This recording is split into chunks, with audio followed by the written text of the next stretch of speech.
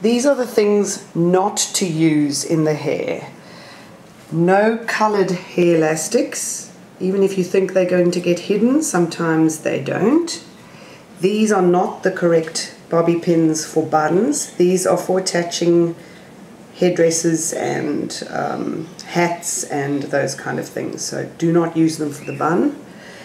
These small V bobby pins are very bendy and not very reliable and you need to use about 30 instead of 3. So don't use these, rather use the much bigger one. These are the proper bun pins.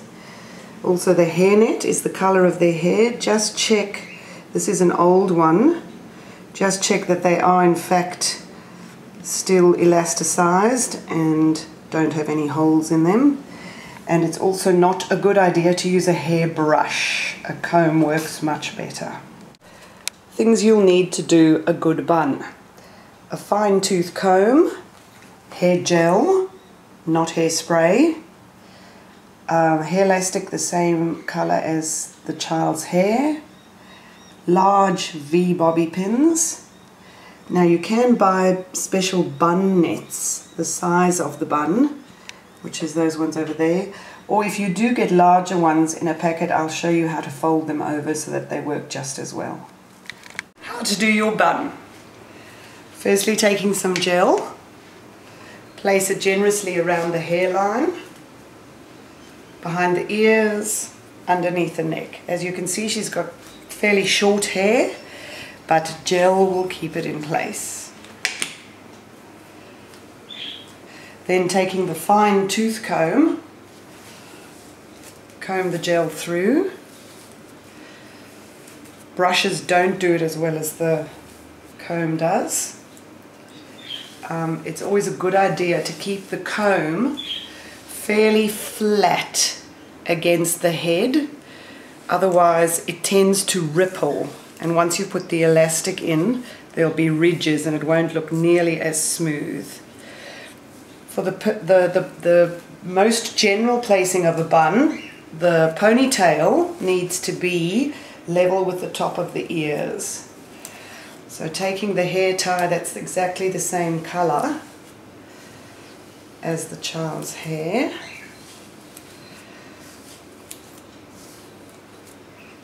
You can always put more gel on after you've tied the ponytail, but just to secure it so it's exactly in the right place.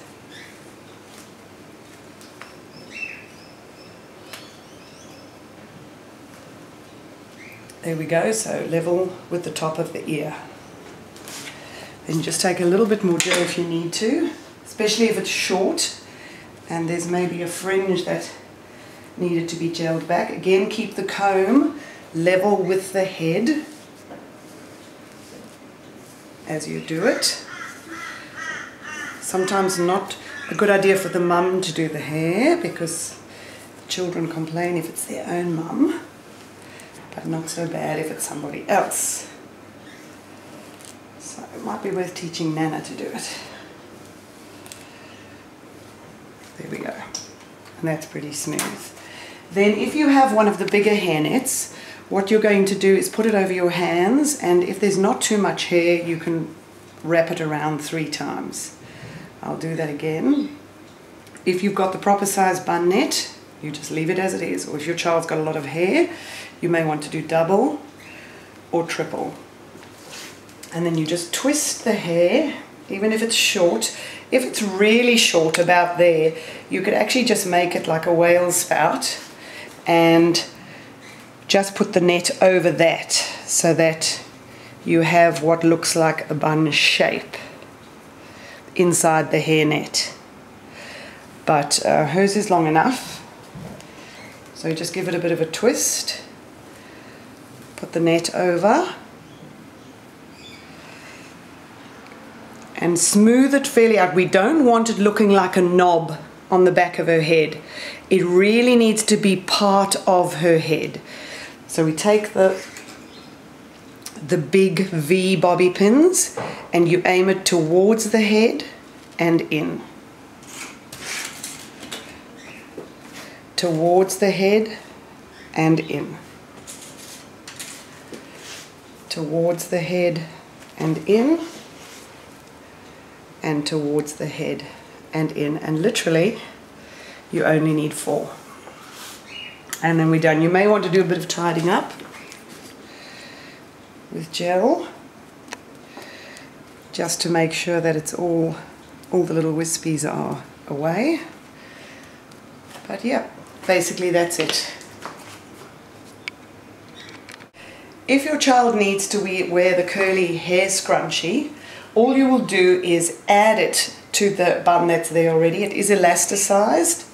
You just put it around the bun and then it's a good idea to secure it with a few bobby pins so they don't leave their hair lying on the stage.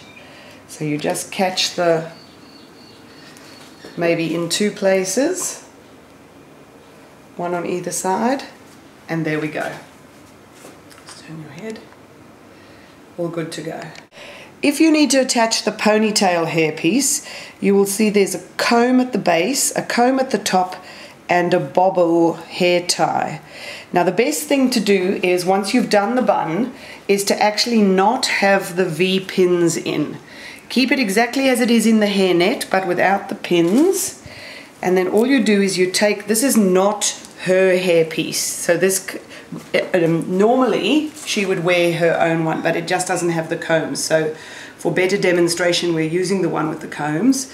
So ideally it's got to match the gelled hair perfectly. So what you do is you take the top comb and you place it in behind the elastic at the top of the head. You then take the two bobbles and you fasten them underneath the hair elastic. So you've still got the bun there, but it's now secured. You then take the V bobby pins and you re-secure the bun. So just as you would have if you'd made the normal bun, in towards the head and under. and in towards so you have your bun underneath but it's tied around the ponytail and the comb is in you then take the bottom comb and put that, push that in underneath the base of the bun. And then taking two of the sliding bobby pins, you actually just secure, you just secure that bottom comb. So if you can just turn your head that way, we actually just put the bobby pin across the comb. And one on the other side. So the comb is secure at the bottom and the top. You then take a few more of these V bobby pins and taking the base of the hair piece, you do what you would have done with the button because it has got holes, it, is, um, it does have holes in it. You just put it in straight towards the head and hook it under. And again, straight towards the head and hook it under. You probably don't need more than that because it is actually tied to the hair. Both the combs are in and it's secured with the bobby pins.